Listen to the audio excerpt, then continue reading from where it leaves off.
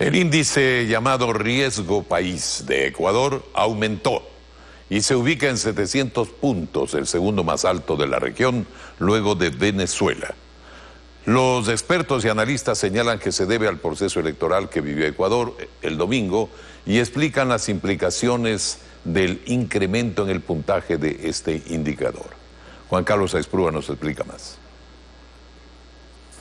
El riesgo país es un indicador utilizado por bancos y organismos financieros internacionales para medir la capacidad que tiene un país de pagar sus deudas. El aumento de su puntaje genera más desconfianza por parte del mercado internacional.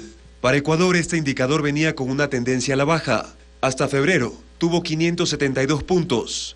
En marzo subió a 666 puntos y este martes 4 de abril aumentó a 700 puntos. El analista económico Carlos de la Torre afirma que ese incremento es normal debido a la época electoral que vivió el país tiene un componente político. Hemos estado en una campaña política.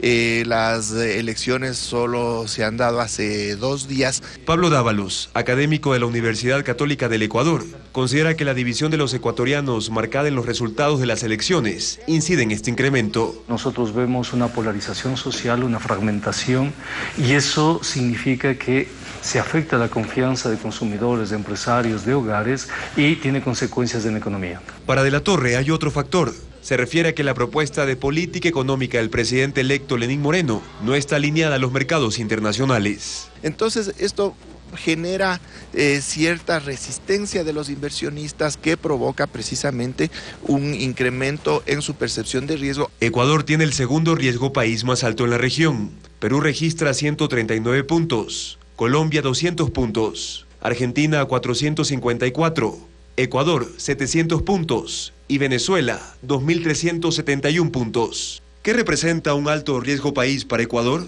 Dávalos lo explica significa que los empresarios deciden no invertir porque sus expectativas de rentabilidad no se compadecen, si se quiere, con sus estrategias de inversión. Entonces eso genera desempleo.